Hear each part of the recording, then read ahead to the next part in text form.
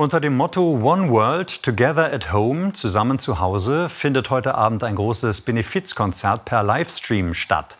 Organisiert wurde die Show von der US-Sängerin Lady Gaga zusammen mit der Aktivistenbewegung Global Citizen und der Weltgesundheitsorganisation. Zahlreiche internationale Stars, unter anderem die Rolling Stones, Elton John und Billie Eilish, wollen mit dem Konzert Spenden für den Kampf gegen das Coronavirus sammeln. Christiane Meyer in New York. Geht es bei dem Konzert nur um Spenden oder gibt es weitere Ziele? Naja, dahinter steht natürlich der Gedanke, dass der Virus keine Grenzen kennt und deshalb auch die Bekämpfung des Virus über die Grenzen hinweg funktionieren muss. Und da ist eben die Weltgemeinschaft gefordert, finden zumindest die Veranstalter.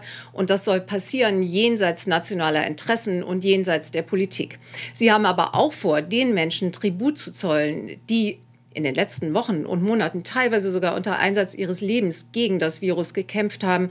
Und sie möchten Regierungen, große Firmen, Investoren motivieren, an die WHO zu spenden, die Weltgesundheitsorganisation der Vereinten Nationen, um diese Pandemie in den Griff zu bekommen.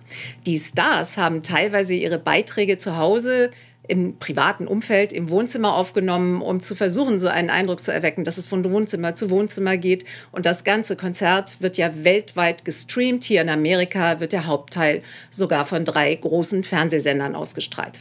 Und damit zurück zu Thorsten Schröder.